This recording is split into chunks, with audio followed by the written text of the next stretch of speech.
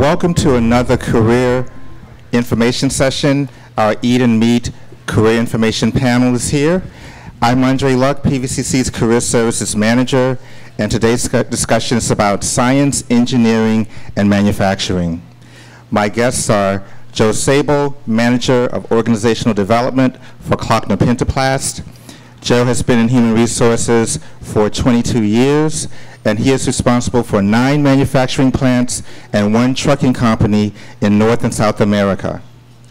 John Hedges is president of Rose Time Inc., a recycling company which includes business units in scrap metal, trucking, used auto parts, and used sales, auto sales. And he hosts the Virginia franchise for 1-800-GOT-JUNK. Jan Pearce is the Human Resources Manager for VDOT, the Virginia Department of Transportation, and has been in that position for 15 years. Jan has a particular interest in students seeking engineering internships and careers. You are very busy people. It's, it's already obvious that you do a lot. Joe, tell us what type of company Klöckner Pentaplast is. I'll be glad to, Andre. And, and, first, I want to thank you for inviting us this afternoon and, and sharing some insight with uh, folks here at PVCC. Um, Klöckner is a manufacturing company and an engineering company. Um, we have a local presence in both Charlottesville and in um, Gordonsville. We have about 500 employees in this area. Globally, we um, have about 3,400 employees in 19 manufacturing facilities in now 14 countries. So we are, we are a large company in that regard. We are a manufacturer of rigid plastic film.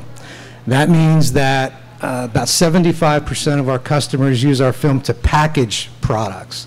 25% use our film for other things like credit cards, hotel keys, badges, um, things like that. So we are the global leader in the production of rigid film. So if you have a credit card in your wallet, it probably came from Klöckner. The other thing, the um, packaging part of our business, um, we package or, or, we provide film for customers who package anything from food to pharmaceuticals to everyday consumer goods that you see on the shelf at Walmart.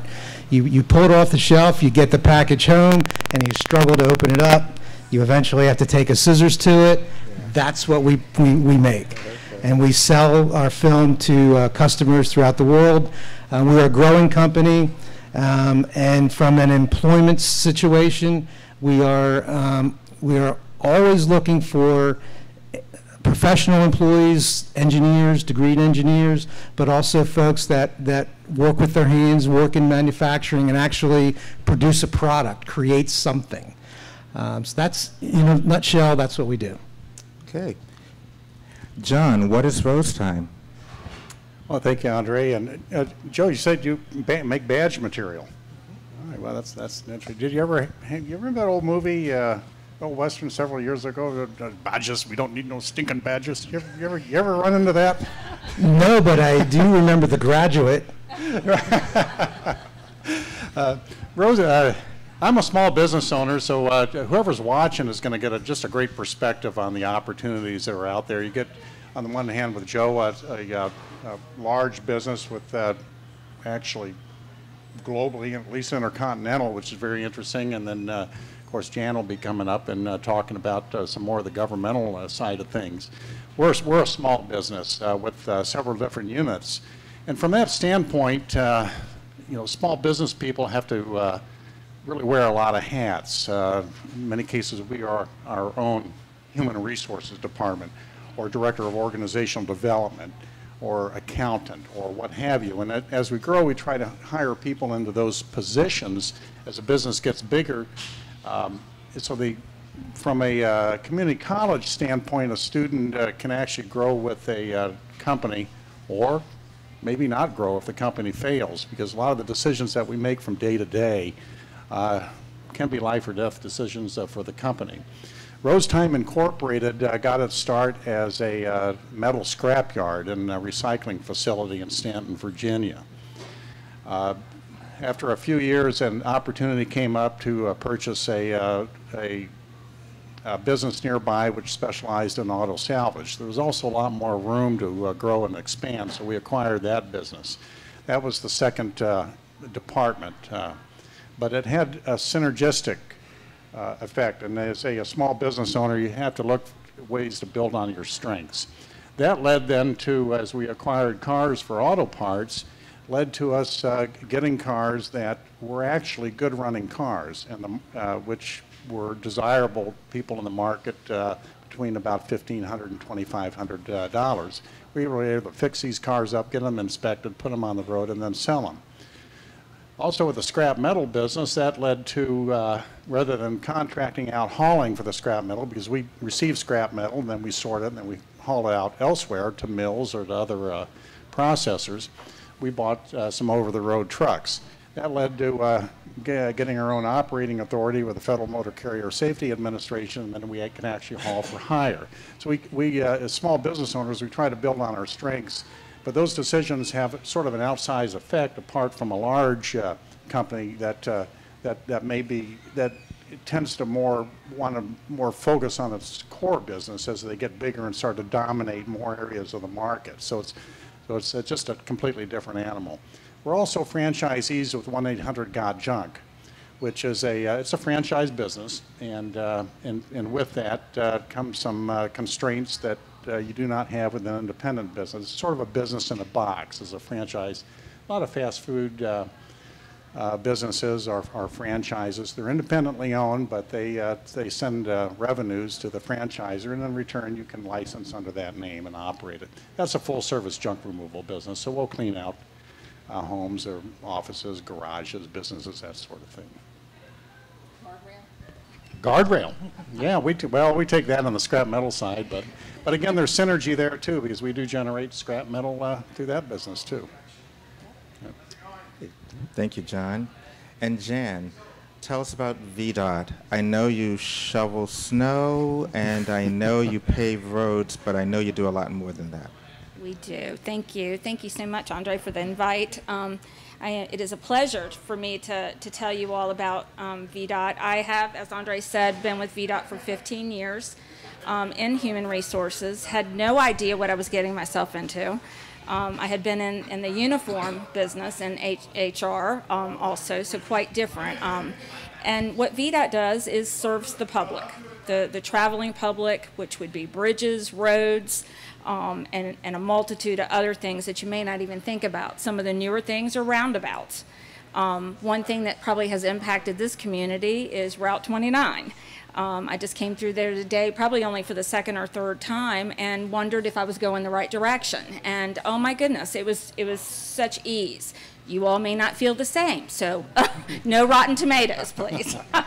um, I actually work in the Culpeper District, which services um, nine counties, all the way from Fauquier County down to Fluvanna County.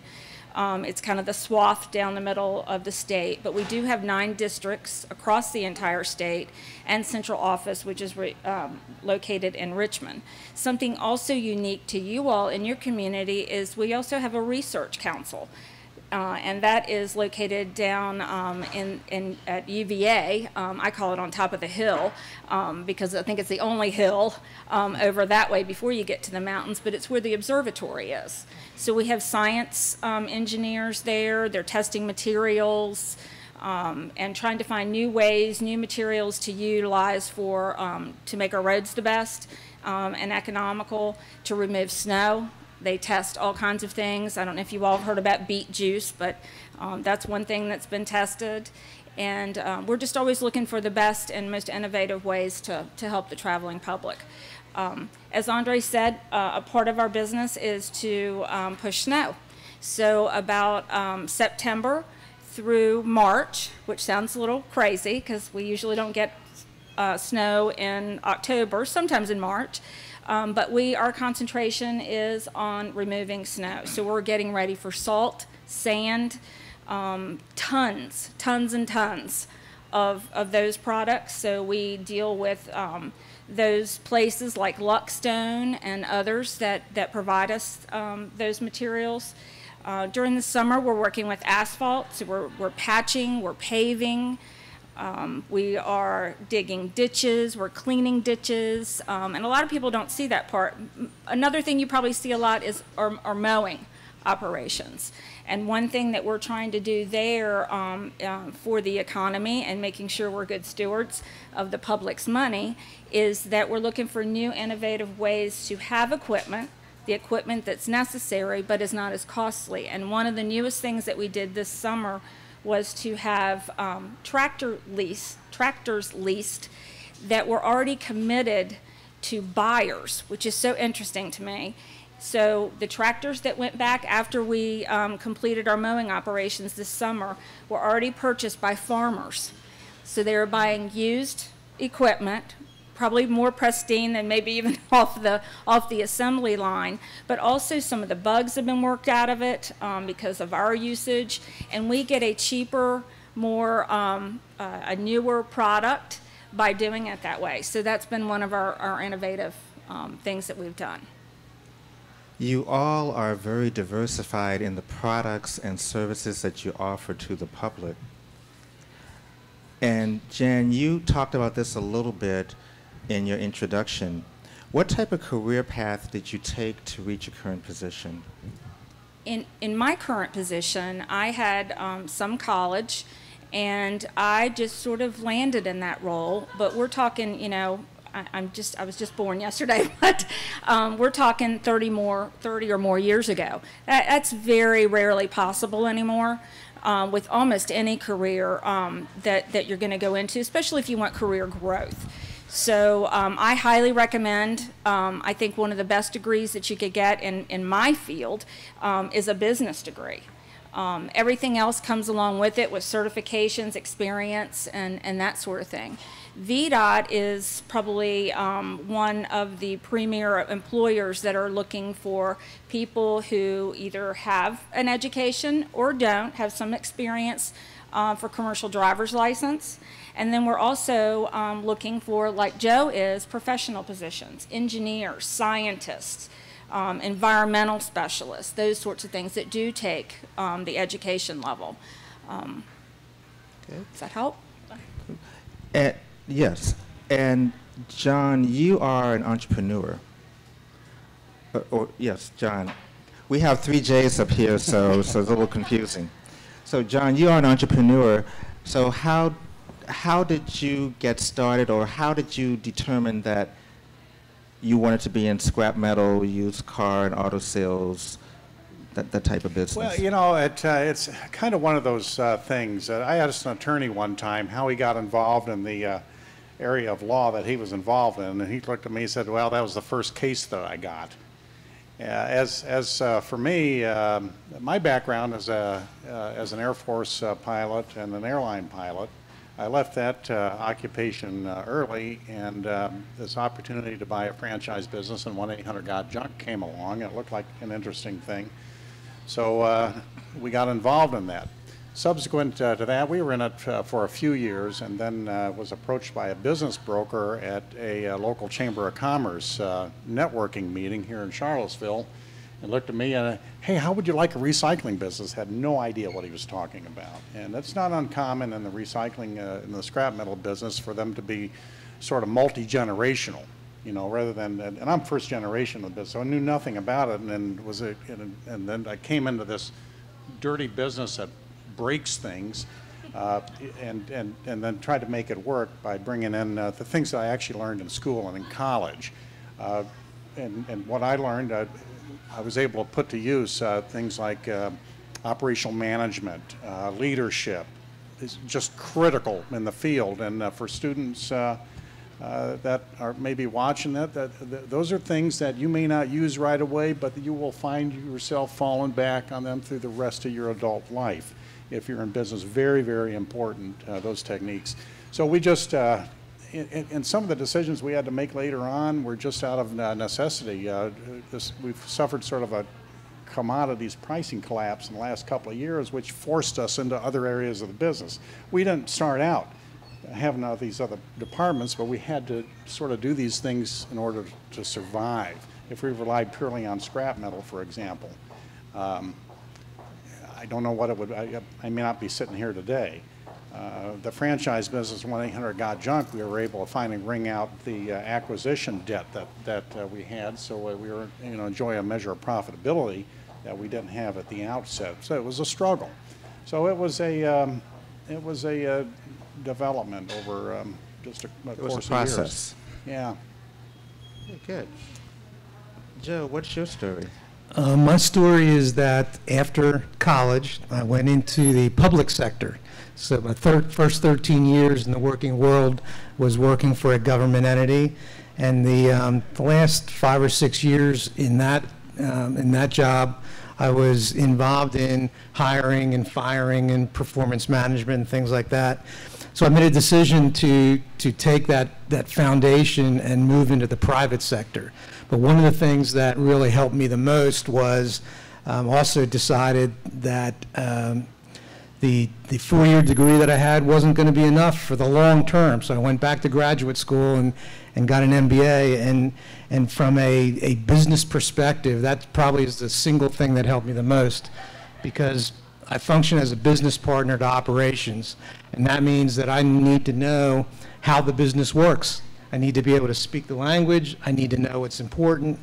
And um, the, the formal education I was able to get helped me do that. Um, so, so that's that's my story, and I was I was able to to parlay that into a, a fairly successful career, and um, that's where I am at today. What positions do you typically hire for?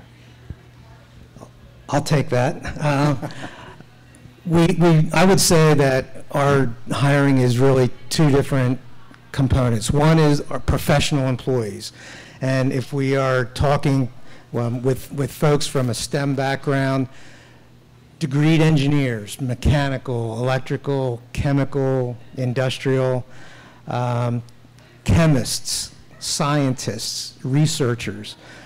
Um, those folks have a generally have a minimum of four, of a four-year degree, but I will say that the trend that I see is more and more folks are entering at least our professional work for, workforce with graduate degrees. We we um, hire PhDs uh, on a fairly regular basis too. So. So formal education is a process. It's not a one and done. I, I, I've got my degree, I'm graduated now, and, and I never have to think about it again. That's not the reality of the world, at least that I live in. So on the professional side, we have that. Um, on the manufacturing side, about 80% of our employees globally work with their hands to build a product, which in today's world is not that uh, that usual anymore. That actually creating something is not is not always typical. So we, we do hire people that that operate machines, that manufactures a product. And I would say the most important characteristic or trait of somebody that wants to do that for a living needs to be needs to have a foundation in education as well. Needs to have um, not only computer literacy but computer proficiency, even for entry-level manufacturing jobs. It's not your grandfather's manufacturing environment anymore, and and and the the um, the skills that it takes to be successful aren't your grandfather's skills. So you need to have that. And the other thing that's really, really important is a good foundation of soft skills. You got to be there. You got to be there every day with no excuses. Um, our customers expect our product to be on their dock on the day that they need it. It's just in time delivery. They don't care that it's snowing in Gordonsville, Virginia. They don't care that you woke up this morning and just didn't feel like coming to work.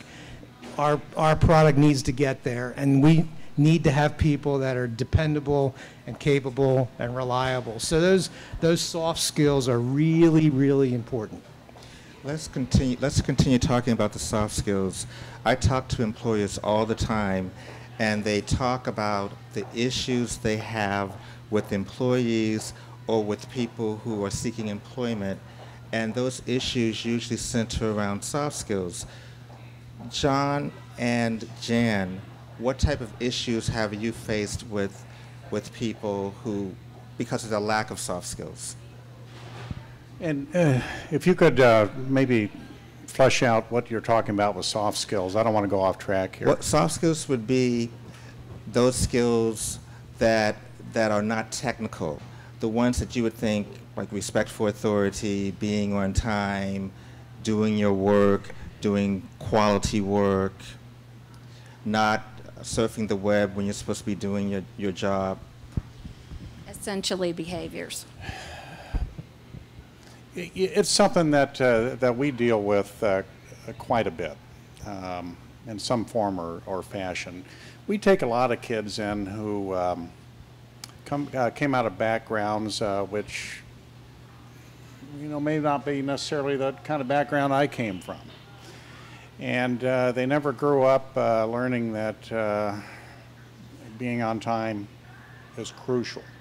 And it's, it's not just because the boss is saying you got to be on time because I said so, but as Joe uh, in- uh, intimated, uh, the business depends on it. And showing up is half the battle on that. So we've got policies in place and a progressive uh, discipline um, uh, program to take care of that. But that, in the context of progressive discipline, what that means is that that starts with recruitment. That starts with the interview. That what kind of person are you? Are you on time for your interview? For Pete's sake, if you're late for an interview, why would I, as a business owner, think it's going to get any better a month from now? That's exactly right. Okay, I don't care what the excuse is. So, you know, you know, if you need to get a hotel room, spend the night uh, outside the door, then do it if you really want that job. You know, yeah, it, work ethic is, is another issue. The most successful people, I think, even in whatever field or endeavor they pursue, are the ones who are constantly trying to improve. Whether they go back to school to get an advanced degree, whether they get a certification uh, that they didn't have to get, maybe they're taking a community college course after they've already graduated because they want to improve their skills in the field in which they're working. They're always trying to improve, and it's not because the employer is making them do it or because the employer is paying for half the tuition, or any- they're doing it because they want to improve. And then you will succeed. Uh, The, the ones who are waiting for the world to just uh, kind of give them a living are the ones who are always going to be frustrated and, uh, and wonder why they're never getting ahead. Does that answer, kind of answer your question? Yes, absolutely, Oh. it does. It's a good answer, too. Jan? Yes. This is something that is um, really near and dear to my heart. The agency um, itself, and actually the entire state, has a um, quite an extensive list, probably like 17 bullet points that surround themselves with the behaviors that are expected when they come in the door.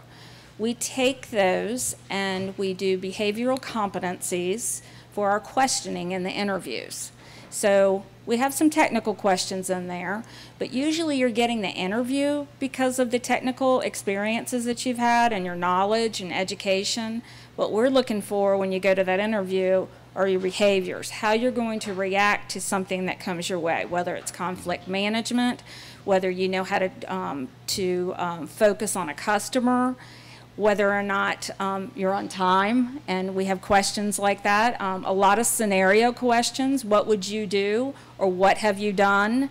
Um, one of the things that I even help our own internal folks go into promotional jobs, prom- promotional interviews, is taking them down through um, 10 questions that are all behavioral because it will make the difference they have a hard time sometimes even with, um, if it's a CDL driver, they're 90% of their day, they're wearing a ball cap.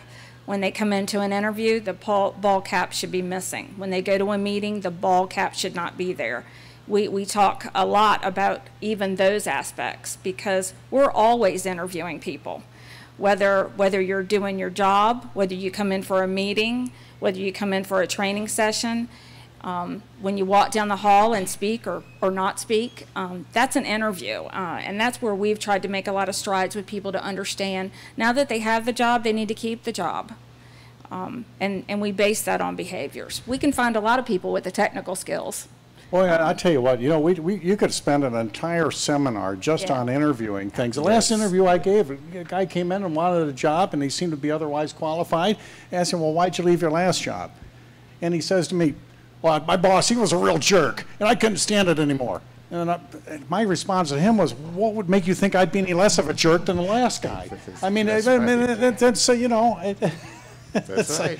it- it's amazing what you hear in interviews, and um, it- it's just amazing. And that uh, there's the ways to handle it. Maybe the guy really was a jerk, but there's a way to handle that. And uh, probably it's something that is taught right here. We, well, we do teach it here, and one of the things that I, I tell students is, you are always on. You're always being interviewed. It doesn't matter if you're at the supermarket and you're upset with the person behind you who's dropping the, the potatoes, or or whether um, you're walking down the hallway at PVCC. Employers come in all the time, and they're watching you. How how are, are your pants on your waist? And you know what? They may be recruiting you. There may be a need. And he may like the way you're handling a situation. And all of a sudden, you've got a business card in your hand. You know what? Why don't you give me a call? We're looking for somebody, right? Right. I cannot tell you how many people I've hired just that way. Uh, they've, they've waited on me at the supermarket. They've waited on me because I'm buying clothes usually.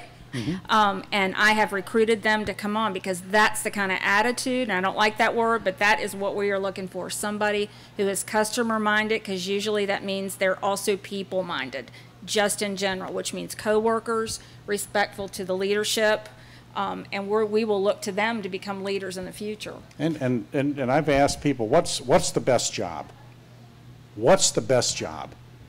And I'll get a lot of blank looks sometimes. And the answer to that simply is the job that you have. That's the best job. You- Because you're- they're always, they're all, people are always watching. You, you, they, they are. They, they, they are. And sometimes just thinking before you speak, saying thank you, please, holding the door open for someone else. I mean, it's the little things that really make a big impact when we're talking about soft skills. And you mentioned how the baseball cap shouldn't be on, you shouldn't be wearing a baseball cap when you go to the interview. And I know that you guys are in industries that can be very difficult manually, or sometimes you're working long hours or you're working outside a lot. How should people dress when they when they're interviewing for you? If you're a banker, well, we already know they should have on a suit, but how should they dress when they're interviewing for you? there is an, uh, an old story that you dress for the job that you want at the next level, not the job that you have. So being dressed appropriately is so, so important. If you're interviewing for, m- for a professional job, that's how you have to dress, and there are no exceptions. You got to keep in mind that, that in a job interview situation, you're competing against other people and you have to give the employer the reason to choose you over everybody else. And the fact of the matter is, from a technical standpoint, a lot of people are qualified. A lot of um, programs at PVCC and other local colleges prepare people from a technical standpoint. They have the, the, the, the ability to do that job. What really is important in, in the interview is, is how you present yourself from, all the way from dressing properly. You mentioned uh, being nice to people and courteous to people. Th- There's some research that suggests that interviewers make a decision about a candidate in the first two minutes of the interview Yes. especially if it's a negative first impression. It's very, very difficult to overcome that initial two-minute um, impression, no matter what you do, no matter how qualified you are. So you got to really be on your game, and it is mostly from, from a, from a presentation, soft skills standpoint, because a lot of people are qualified from a technical standpoint. And, and by the way, if you have a job with somebody and you're going to go to an interview with another company, don't pull up in the company vehicle. Don't do that. I had, a, I was interviewing for a CDL driver one time and they called him in and guess what? He pulls up in this tractor trailer in the scrapyard, but belonged to another company. And I asked him, Does your employer know that you brought your, tr- oh, he'll be okay. Well, I said, really? If I called him up right now and told him you were here interviewing for another job with his truck and trailer? Really? So, Please tell me that wasn't VDOT. Yeah it wasn't. By the way, I think, I think whatever you're doing with hiring your VDOT people, they're just, they're just uh, top notch. They're great to work with, and uh, I'm a contractor for VDOT myself, so I've got on-the-ground interface uh, quite often, and these people, uh, they present well, they're helpful, they, uh, they want to get the job done, so it's nice to see. Sorry. Good. So you heard my spiel on the on the ball cap, but and I agree with what what um, what Joe was saying. You always want to dress for the for the next level position. So our CDL drivers, I tell them to make sure they have a collared shirt on, make sure that they have you know jeans are fine, but I, I don't highly recommend them. But that is their role in the next level. Um, you know, uh, certainly I wouldn't want somebody coming in with a tie on that's looking for a um, a tractor trailer job or a CDL job. But I will tell you, that goes a long way with me because to me, it is the respect of what you're doing. Uh, and that is loo- looking for a job and wanting a job. And we see, and I've heard Joe and John say this a little bit already, that um, we see people that are just so much more lackadaisical and don't have or bring that respect to wanting um, a particular job with a company. It's just almost a little more routine than it is um, wanting to come to work for VDOT. That's why I want you to come, is to come to work for VDOT, not to come for a job. You don't have to have a career with VDOT, but we want you to come because you want to be with us. So I, I look for those things. I also look for um, people who don't curse in the interview. Um, it's it's a it's a real turnoff. Um, some people get too lax in an interview. Um, I think John just said that a little bit with one of his candidates. And um, I think the number one thing that I try to teach people, we all have negatives in our in our careers um, and in our lives, and what we always tend to look for is somebody who's turned that around. Um, so that may have been a negative impact to you as a layoff from another company. It could have been something that you made a mistake on. Um, it's what you've learned um, from the from your experiences that that we look for. That's a person that's going to be agile for our company. And, and you may, uh, you will have made an application, you may have submitted a resume, and that's all we know about you at that point. Better be prepared to talk about those things, which is on, on those documents, good or bad. Be, know, know something about them. And, uh, and if, and if there are uh, adverse uh, things, like in the case of a driver, if you got a spotty driving record or what have you, maybe it's not the job for you right away because uh, we don't want to put you behind a wheel of an 80,000 pound vehicle if you can't even maintain the speed limit in your own car here recently. And Uh, I'm glad that you don't want them behind the wheel. Right. So, but, but be prepared to talk about those things and have good answers for them. People make mistakes. And I've, I've hired people who have made terrible mistakes in their past.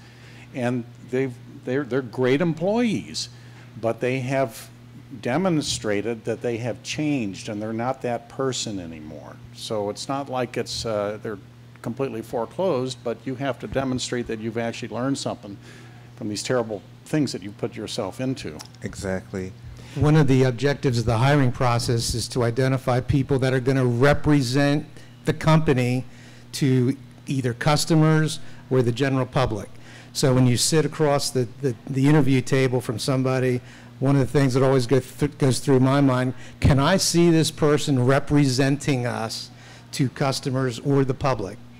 And quite often, the answer is no, and, and the interview process pretty much stops right there.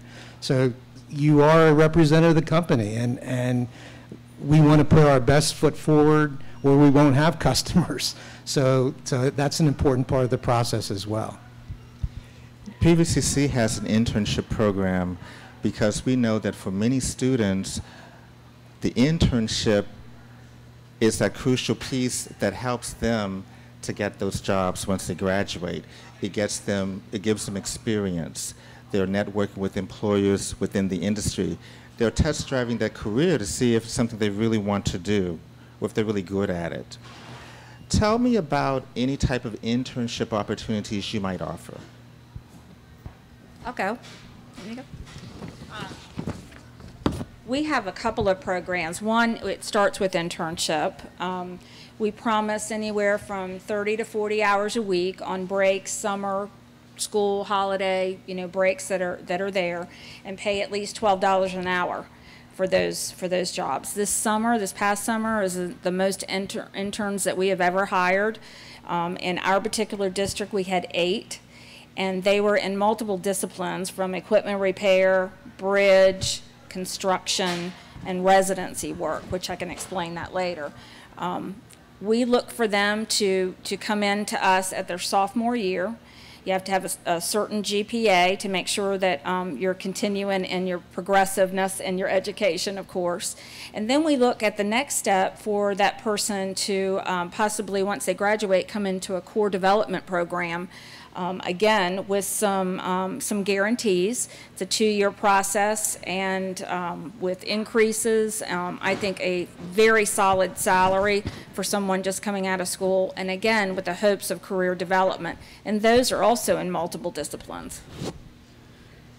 We don't have an internship as uh, such. I, I might call it a, a part-time, a minimum wage job in which you learn some skills and uh, something you've never done before. And this, this ties in, though, to uh, what you, what kind of future you might want to have. What's going to be on your resume when you uh, might apply to Jan or Joe or their companies? What have you done with your time during the summer or the break? If I'm looking at a resume and I see somebody who is in school and has had this part-time job during the summer and then, then has graduated and has stayed busy and uh, tried to, that, that's very positive uh, for, for an employer to, to look at? Or is this person that says, okay, well, school's out for the summer and uh, see you next fall? That tells me something about that person just on paper. Okay? Now, uh, so it's, it's a choice, it's a decision. What do you, what do you want to do? If, if you start going down the road uh, saying, hey, a minimum wage job is uh, beneath me for this or that, the other thing, don't discount that because you will learn things on a minimum wage job that you will never have the opportunity to learn anywhere else, if only because the employer needs the help during that period and can't afford to pay somebody what you may be making after you graduate. See, because it's entry level, it's entry level stuff, and we can take the take these kids, take and and actually train them and, and teach them some things, even if they're not going to make a career out of what we do. We can send them on up the line. Uh, Klockner has an internship program as well, and actually it's a growing and expanding program. Um, most of it is in, during the summer, although we are expanding to during the semester. Um, and it is typically project oriented. We identify projects that we need help with. Um, and that, that, will that will tell us, that will lead us to the level of experience the intern needs to have. Whether, you know, somebody right out of their first year in a, in a, in a community college, for instance. There are projects that folks can help us do. Other projects may need some, let's say, engineering expertise that you don't have until you're a junior or a senior. Um, so it is project-based. Um, and it, and it is a, a, growing and expanding opportunity. It's, it's, a, it's a way to, to test drive your, your career choice. You know, when you go to school and, and you know, you may or may not know what you want to do um, after you graduate. An internship, well, well, classes in general are a way of identifying if you have an interest or an aptitude in the subject in the first place, but then an, in, an internship can help identify if, if you have that same interest in the real world. Um, so it, it's an opportunity to, to test drive the, the career. So um, if you have an opportunity, I would, I would suggest that you pursue that. It, it's a great opportunity, internships. I'd like to see if we have any questions from the audience.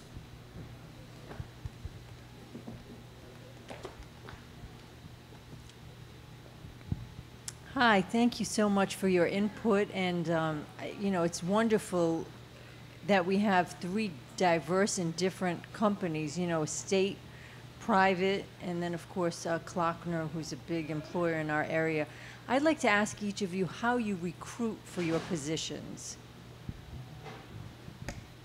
That is Thank a you. good question, as we um, we are taking a look and at our whole recruiting process right now and trying to update and upgrade it. Um, and I would say it depends on the job that we're trying to fill, but you have to go where people are. And right now, it's social media in a lot of cases. So in our case, the professional job, the professional opportunities that we have out there. We are, we are active in social media, whether it's LinkedIn or Indeed or our own website or any other, you know, any other social media out there. Um, we are very active in that. I would say the, the um, manufacturing jobs that um, we, we have more of a demand for. Um, we, we still use more traditional recruiting methods like job fairs um, and local advertisement. But in my career, I've seen that, I've seen even that is changing. Um, and we have to, we have to make sure that we are, we are reacting to the realities of the world and we have to do the changing and the upgrading and the updating. So those are the things that we're trying to do. Small businesses uh, generally don't have the resources that uh, larger businesses have on the recruiting, but then we don't have the need for uh, the number of employees that larger businesses ha- have either. Um, our our 1-800-GOT-JUNK business is a seasonal business. Uh, I mean, We really ramp up in the summer. So um, we we try to maintain a uh, core group of people uh, during the slow periods that form the basis uh, for our workforce when we when we get a lot busier. Uh, That said, uh, my managers uh, recruit pretty heavily from their church, actually. Uh, There are people who, uh, and so that's, I- I would say churches, social organizations, that sort of thing. Are you, are you part of sort of extracurricular groups or non-occupational groups, uh, that sort of thing? Because your employers, they're going to these same places and, and you can actually let it be known you're looking for some work um, outside of the formal application and interview process. Don't underestimate the value of networking and working, working at uh, the, the people you already know um, in there. I mean, uh, I would guess probably a disproportionate number of jobs are probably awarded through recommendations and referrals. Bec- Why? Because these people are already vetted, and somebody already on the payroll is highly unlikely to recommend somebody who would be a complete dud. And so some of our most successful employees have come from internal referrals. Hey, uh, this person um, uh, just lost his job, good guy, good gal, um, you know, it's a bad deal and uh, looking for looking for a job. And so that's a foot in the door. Okay, and uh, so so you're you're networking. Uh, you know, if you're going to go home and just kind of put your feet up on the uh, table and watch television seven, seven days a week, you're probably not getting out there and uh, developing your own network like that. Get out of your comfort zone a little bit. Um, uh, maybe join uh, uh, maybe a chamber of commerce. That's where the business people go. Or show up at their mixers. They're there. They're all employers. And say, hey, I just graduated from uh, PVCC, and uh, this is a field I'm studying. I mean, it, it, it, are you looking for anybody? Who knows? So ditto on all those accounts. Oops, sorry. Um, So uh, our process, being that we are a state agency, is a little more formal. However, in the last probably five to 10 years, we've expanded to what John was talking about and, and um, Joe, that we get out more, we have conversations. I'm getting into the community college um, colleges uh, near us, which um, PVCC, this is the first time I've been here, but last winter I went to LFCC Lord Fairfax and also Germanna. And those eight interns that we hired this summer, four of them came because I left my card with them. So um, that is one way. Um, our recruitment management system is online. Anybody can go to it. It's vdot.jobs.gov and um, find all our recruitment across the entire state, not just not just the Culpeper area. And we have to have applications that fit the position that we have recruited for. However, I will take a resume all day long because I will call you if I see a fit. Our recruiting process from the central office perspective, they will do the same. They go out into more colleges than I can ever make. Um, so they're doing the same. So they are collecting them, but act, to actually apply for a position, you have to go through that recruitment um, system. The uh, other piece I would say is that we do LinkedIn, we do, you know, Twitter, all of those things that I don't know much about, uh, as much as you all might, um, and you do need to use those. The programs that I'm talking about with internships, with scholars, with the core development program, they are all recruited for in the beginning of the spring, and I call that January, February. So you need to be looking out for those if, if you have interest in those programs. Last year, we had 500 and some applications just for the core development program, but we're hiring 50 people at a time for across the state. It's a lot of people still. We have 78, close to 7,800 um, employees now um, across the state. And so there's a lot of job opportunities there. But getting your foot in the door, um, as John said, is very important. And you've got to use those um, lines of coming for a summer job, asking for an hourly job, and getting your foot in the door because there is nothing like understanding who people are and um, it's a memory maker. I think that's who you remember when when there may be a position open for even um, career development or promotion. So. And, and by the way, know something about the company or the organization you're applying to go to work for. I mean, please, I can't tell you how many people, even in our little corner of the world, what, what do you know about Rose Time? What do you know about 1 800 Got Junk? I don't know. I don't know. And, you know, th these people thought enough of you to grant you an interview know something about them. I mean, this day and age, it's so easy. Just going on the website or even going walking in the front door and just looking around. It's, it's, it's that easy. But if you give them an I don't know in an interview, it's probably going to be a short interview. Would you agree, Joe? Absolutely, John. It's, that's exactly the case. And remember what I said about a competition. You have to separate yourself, give us a reason to choose you. And if you come in and know nothing about who we are or what we do, and the other competitors do, um, it's pretty much a no-brainer on our part. So you, you're, John, you're exactly right. You have to do your homework. So it's important to do your research. It's important to have manners, good skills, soft skills. And we've gotten a lot of very, very good information today. And I just want to say thank you to Joe Sabol, John Hedges, and Jan Pearce. They will be here if you have questions afterwards, if you'd like to talk to them more about some of the things we've talked about or about some of the jobs and internship opportunities they have available. And this concludes our Eat and Meet Career Information session, and we'll see you in a few weeks for the next one.